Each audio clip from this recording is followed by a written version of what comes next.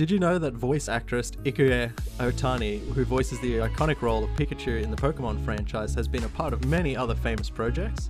Some of these include the character of Tony Tony Chopper from One Piece, a reindeer doctor who joins the Straw Hat Pirates, or the character of Morgana from Persona 5, a cat like creature who helps the protagonist navigate the game's surreal and mysterious world. She voiced the role of Teemo in League of Legends and had roles in the Japanese dubs of many famous movies such as Jaws 2, The Shining, and Kindergarten Cop. Like, subscribe, and follow for more.